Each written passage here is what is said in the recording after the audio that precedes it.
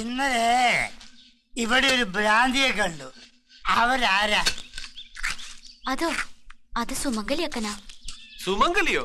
ഓ ഇവിടെ വന്നിട്ട് ആദ്യമായിട്ടാ നല്ലൊരു പേര് കേട്ടത്. അപ്പൊ ദേവയാനിക്ക് എന്താ കുഴപ്പം? ഏയ് ദേവയാനിക്ക് യാതൊരു കുഴപ്പമില്ല എത്ര നല്ല പേര്? എത്ര നല്ല ആൾ? ആ എത്ര നല്ല ആൾ? പോടാ അവിടുന്ന്, പോടാ അവിടുന്ന്. ആ എന്നിട്ട് സുമംഗലിയക്കനെ കുറിച്ച് പറ. അക്കനെ കുറിച്ച് ആരും ആരോടും ഒന്നും പറഞ്ഞൂടാ. അതാ ഇവിടുത്തെ രീതി വിലക്ക്. ആരും അടുത്ത് പോകാൻ പാടില്ല സംസാരിക്കാൻ പാടില്ല നോക്കാൻ പാടില്ല. അറിഞ്ഞോ അറിയതോ ഒന്നും കൊടുക്കാൻ വരെ പാടില്ല. അടുത്തെങ്ങാനും വന്നാലേ കല്ലെറിഞ്ഞ് ഓടിച്ചോണം. എന്തേ അങ്ങനെ? അതൊന്നും ഞാൻ പറയില്ല. ഒക്കെ ഇവിടുത്തെ രീതികളാ. അപ്പം ദേവയാനി ഒന്നും കൊടുക്കൂലേ? ഞാനും കൊടുത്തിട്ടുണ്ട്. ഒരുപാട് എറി. എന്റെ അടുത്ത് വരുമ്പോഴൊക്കെ ഞാൻ എറിഞ്ഞ് ഓടിക്കും. പക്ഷേ എറിയണത് അത്രയും പേരയ്ക്കും ആപ്പിളും ഓറഞ്ചും ആയിരിക്കും.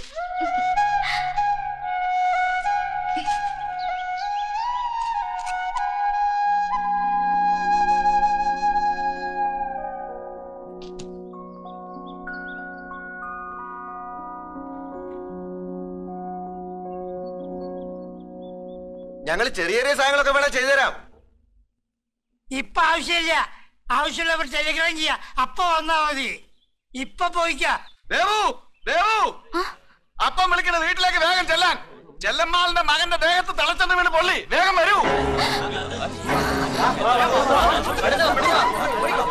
തുടങ്ങിയിട്ടുണ്ട്. നല്ല ഭേഷായിട്ട് തുടങ്ങിയിട്ടുണ്ട്. സ്ഥാനം മാറ്റി കിണർ കുഴിക്കാൻ പറഞ്ഞിട്ട് ആരും കേട്ടില്ലല്ലോ. ഇപ്പൊ എങ്ങനെയുണ്ട്? എല്ലാരും കൂടെ അനുഭവിച്ചോ. なりけ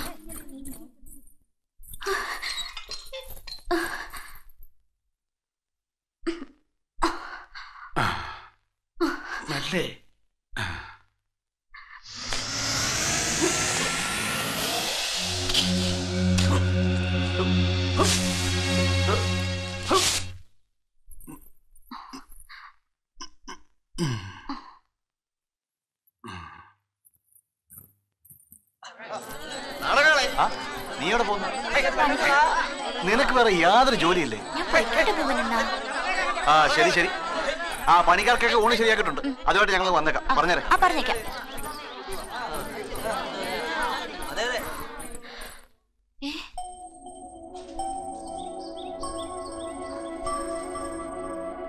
എവിടെ? ആര്?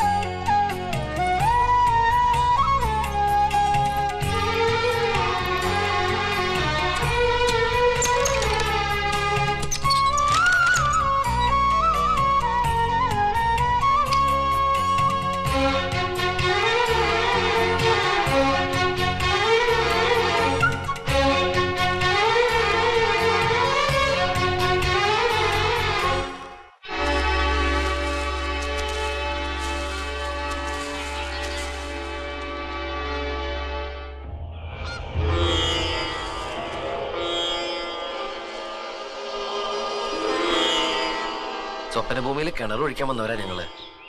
തുടക്കത്തിൽ ഒരല അനങ്ങിയ വഴക്കുമായിട്ട് വരുമായിരുന്നു സ്വപ്നഭൂമിക്കാര് ഇപ്പോ എട്ടു പത്ത് ദിവസമായിട്ട് യാതൊരു കുഴപ്പമില്ലാണ്ട് മുന്നോട്ട് പോവാ. ഇനി വെള്ളം കിട്ടണമെങ്കിൽ സ്വപ്നഭൂമിയിൽ ജനിച്ചു വളർന്ന ഓരോരുത്തരുടെയും പ്രാർത്ഥന ഉണ്ടായി തീരൂ. ഞങ്ങൾക്ക് കിട്ടിയ ഭക്ഷണത്തിന്റെ ഒരു പങ്കാ. സുമംഗലേക്കന് ഞങ്ങൾ താമസിക്കുന്ന വീടിന്റെ ഒരു മൂലയിൽ വേണേൽ ആരും അറിയാതെ അന്തി ഉറങ്ങാം. അത്താഴം മിച്ചം വല്ലതും ഉണ്ടെങ്കിൽ അതും കഴിക്കാം.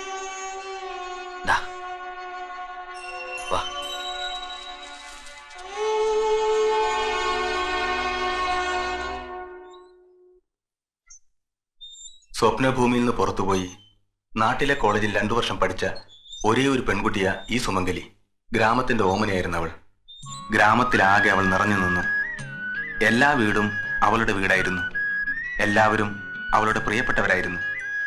ആയിടയ്ക്കാണ് പത്രപ്രവർത്തനമൊന്നും പടം പിടുത്തമെന്നൊക്കെ പറഞ്ഞ് സ്വപ്നഭൂമിയെക്കുറിച്ച് ലേഖനം എഴുതാൻ ഒരാൾ ഇവിടെ എത്തിയത് ഒരു അച്യുതൻ കുട്ടി നാട്ടുകൂട്ടം അയാൾക്ക് എല്ലാ ഒത്താശകളും ചെയ്തു കൊടുത്തു. അയാൾക്ക് വഴികാട്ടിയായും സഹായിയായും വിട്ടുകൊടുത്തത് പാവം സുമംഗലിയായിരുന്നു അയാൾക്ക് വേണ്ട വിവരങ്ങളൊക്കെ പറഞ്ഞു കൊടുത്ത് പടങ്ങൾ എടുത്തും എടുപ്പിച്ചും അവർ രണ്ടുപേരും ഈ കണ്ട കാടും മേടും ഒക്കെ കയറിയിറങ്ങി നടന്നു.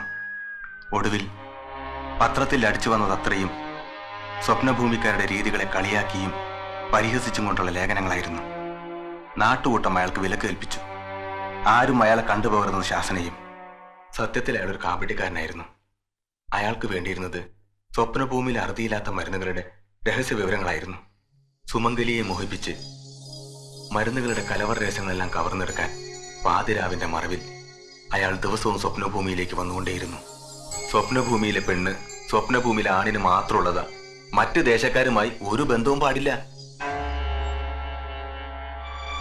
ഒരിക്കൽ പഞ്ചഭൂത ബലി നടക്കുന്നൊരു വൈശാഖ രാത്രിയിൽ ധ്യാനപുരയുടെ മറവിൽ രഹസ്യമായി സന്ധിച്ച സുമംഗലിയെയും അച്യുതൻകുട്ടിയെയും നാട്ടുകാർ പിടികൂടി. അയാൾ എങ്ങനെയോ രക്ഷപ്പെട്ടു.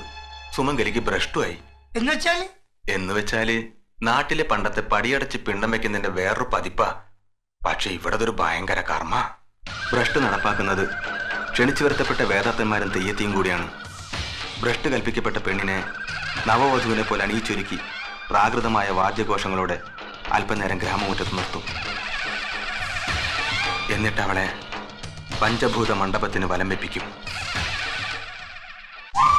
അത് കഴിഞ്ഞവളെ കത്തിജ്വലിക്കുന്ന ഒരു അഗ്നികുണ്ഡത്തിന് മുമ്പിൽ കൊണ്ടു നിർത്തും. പതിനെട്ട് സുഗന്ധദ്രവ്യങ്ങളും പതിനെട്ട് ദുർഗന്ധദ്രവ്യങ്ങളും ആ അഗ്നികുണ്ഡത്തിലേക്ക് എറിയും. അതിൽ നിന്നുയരുന്ന പുക കാറ്റത്തങ്ങ് കരിയാത്ത മലയിലെത്തും ആ പുക വരുമ്പോൾ കാട്ടാളന്മാർക്കറിയാം ഭ്രഷ്ട് കൊണ്ട പെണ്ണുരുത്തി വരുന്നുണ്ടെന്ന്. കുന്തങ്ങളുമായി അവർ കരിയാത്ത മരങ്ങൾക്കിടയിൽ കാത്തു നിൽക്കും കരിയാത്ത മലയ്ക്കരികിൽ ഒരു പ്രത്യേക സ്ഥലത്ത് അവളെ നിർത്തിയിട്ട് ഗ്രാമത്തിന്റെ ഗണനാഥൻ അവൾ ചെയ്ത കുറ്റം ഉറക്കെ പറഞ്ഞിട്ട് മൂന്ന് പ്രാവശ്യം ഭ്രഷ്ട് എന്ന് ചൊല്ലും. അതോടെ അവൾ വേദാത്തന്മാരുടേതായി കഴിയും. സ്വപ്നഭൂമിക്കാർ തിരികെ വരുമ്പോൾ വേദാത്തന്മാർ ആടയാഭരണങ്ങളൊക്കെ അഴിച്ചെടുത്ത് കുന്തത്തിന് കുത്തിയും കല്ലെറിഞ്ഞും അവളെ കരിയാത്ത മലയിലേക്ക് കയറ്റിവിടും. കഴിഞ്ഞ നാൽപ്പത് വർഷങ്ങൾക്കുള്ളിൽ ഇവിടെ മൂന്ന് ഭ്രഷ്ടുകൾ നടന്നിട്ടുണ്ട്. അതിൽ അവസാനത്തതാണ് സുമംഗലിയുടേത്. ഭ്രഷ്ട് കൽപ്പിക്കപ്പെട്ട പെണ്ണുങ്ങളിൽ തിരിച്ചു വന്നവൾ ഇവൾ മാത്രമാണ് പക്ഷെ സമനില തെറ്റിപ്പോയി. ഭ്രഷ്ട് കൽപ്പിക്കപ്പെട്ടവളായതുകൊണ്ട് ഇനി തിരിച്ചെടുക്കാൻ പറ്റില്ല. ഒരിക്കൽ ശിക്ഷിച്ചതുകൊണ്ട് ഇനി ശിക്ഷിക്കാനും വയ്യ. അവൾ ഇവിടെ ഇങ്ങനെ കഴിഞ്ഞുകൂടുന്നു.